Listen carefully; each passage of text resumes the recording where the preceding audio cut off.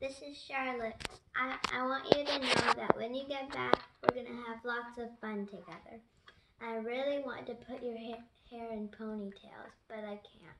So I, I really want you to get better. I love you.